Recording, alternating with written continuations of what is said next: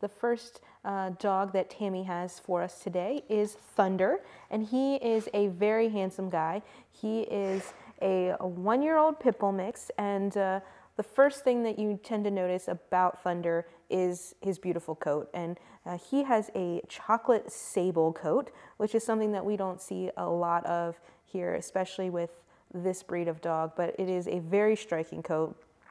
And uh, it's, it's, he's just a handsome guy. He's, you know, the typical muscular um, pit bull with a great smile. And um, he was previously owned, so we're still learning a little bit about him. Um, but we do have some information from uh, his previous owner. So he didn't get along well with the other dogs in the house. There were quite a few other dogs in the home, and an important thing to realize when you're talking about you know dogs getting along with one another is that the likelihood of them getting along is increased when they are altered. And uh, Thunder here um, is not yet neutered, so that could have been playing a large role in the fact that he wasn't getting along with the dogs that he was living with. So before he leaves here, he will be neutered. We have listed um, Thunder as a dog that needs to go home with older children, 10 and up, or adults only. And the reason for that is um, that it took him quite a while to acclimate here to shelter life.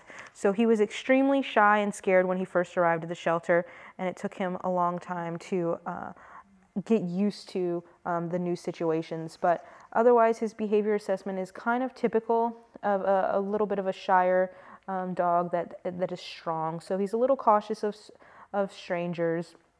He can be um, easy to obtain if he knows you, a little shy um, sometimes, difficult to walk because he pulls. Um, no real issues with food aggression. He lost uh, interest quickly in his toy. He likes to be petted. Um, it's just we want to make sure that when we send him to a home, um, he's not going to react out of fear um, with young children in the home while they're still understanding dogs and having a dog in their home and while he's still getting used to his new life. Thunder is one year old, so he would be adopted for our adult dog fee, which is $92.50. If you're interested, you can visit him here at 1832 Rosemont Avenue.